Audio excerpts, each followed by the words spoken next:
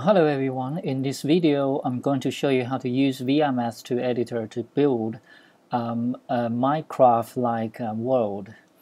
Uh, we're going to learn a bit of programming too in this, in this video. Uh, first of all, I'm going to introduce uh, a command called random. Um, so I'll start with the console um, here that you can type in uh, some command. Say if I say print hello it will say hello. I can say print 1 plus 1 and it will answer 2 now I can print a random number. The random number is quite useful in the games or if you want to quickly generate something random. Uh, the random uh, how to, to, the way to use random is to give a range uh, that is uh, a number. If I say print random uh, random 3 uh, for the random random needs an input uh, the random tree will generate a number from 0 to 2 so 3 means uh, it could return uh, a number 0 or 1 or 2 to you. So I'll just press enter here. And this time I got 2. Uh, you can use up or down arrow key to get back to the, um, uh, the uh, previous command. So I'll just press enter again. This time I still get 2. Try it again. Um, interesting. Every time I get 2. Alright, now I got 0, 2 um, but here I couldn't get one alright so if I say repeat um, 10 times then I'll print random number 5 now I should get uh, 10 numbers that is ranging from 0 to 4 right so uh, you can see that is what you get here alright so that's how random can be used Um, now, uh, we'd like to do some more preparation too. So in this uh, 3D world, it's pretty easy that you can insert a cube at the lo uh, turtle's location and, and direction.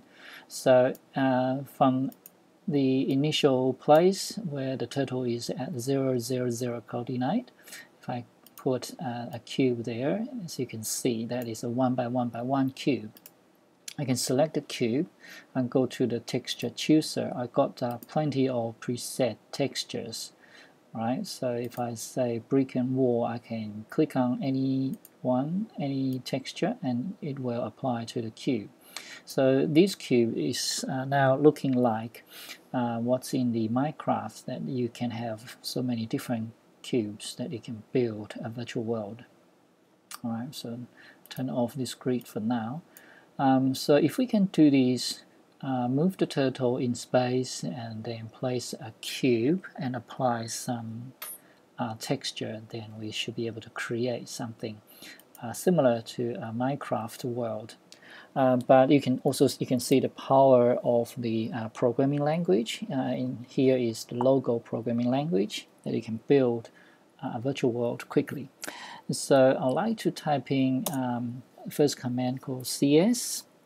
It's, it means clear screen. It's the same as clear uh, screen in one word, right? So uh, in short, it's just cs. Um, now what I need to do is say repeat.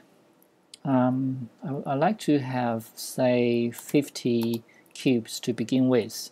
So it's the square bracket where you put uh, any other command in this square bracket and the anything in here will be repeated 50 times.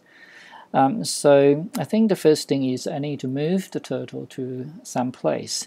So we have learned random um, command. So I can use another command called set x, y, z.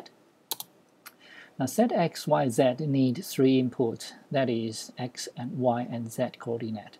And So for the x, I would like to give a random um, 10, uh, random 10 but um, I don't want everything to be 0 to 9 uh, so here I like to have um, um, this number to take away 5 so that means this random number generated will be ranging from negative 5 to positive 5 um, to positive, uh, 4 actually. Right, so uh, this is, will be x and then I'll do exactly the same thing random um, 10 take away 5 and one more random uh, 10 take away 5 right? So in this case the turtle will be moved into the um, in, in a 10 by 10 by 10 space uh, and um, it's um, 10 by 10 by 10 is a thousand so it's actually a, a thousand cube space uh, don't know which one because it's random number. And then when I got to the place I can put a box or I can say cube that is the same thing. So at the place I can put a cube. Um, now another command is select select is to select uh, uh, something that um, you created. So every object created will have um, an ID for example. Here for this object it's called object 0 and when you clear screen it will start with 0 with the obj uh, uh, underscore as the prefix. So that will be the object ID but we don't know uh, when uh, what will be the ID if we create many so we don't know that so uh, we can say select object object is another command that will return to the the previously uh, created object ID. So select object means uh, you create a cube and uh, you click on that to select it. It's the same thing. So select object, that means I select this cube. Now when the object is selected, I can set image texture or set IT, image texture.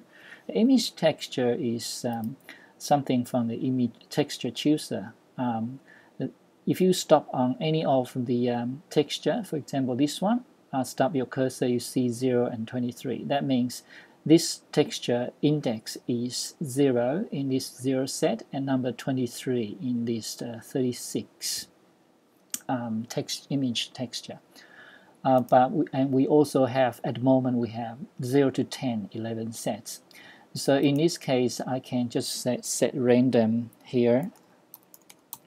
Um, for set IT, you need to give the two index, but the for the first index, I'm going to give uh, 11, and the second index, I'm going to give uh, 36. All right, uh, 36 will get a random number from 0 to 35, and there's 30, 0 to 35 here in in this um, um, in every set. And I have uh, 0 to 10 sets so I put 11 11 will get a random number from 0 to 10 so in this case I think that's probably enough. Now I can if I run this program I'm expecting to get um, 50 cube located randomly in the 10 by 10 by 10 space. So let's try it. All right so in uh, just uh, one second or so that you get this 50 cube it's already generated in this random space. I actually would like to uh, change the background to um, sky and land it's, not too bad here right? So I can fit everything into the screen so that's uh, 50 cube. Now if you think that 50 cube is not quite enough try 100 Ooh, I, I think I got a cube right in front of me all right? So that is a hundred a hundred cube in this 10 by 10 by 10 space is just one tenth there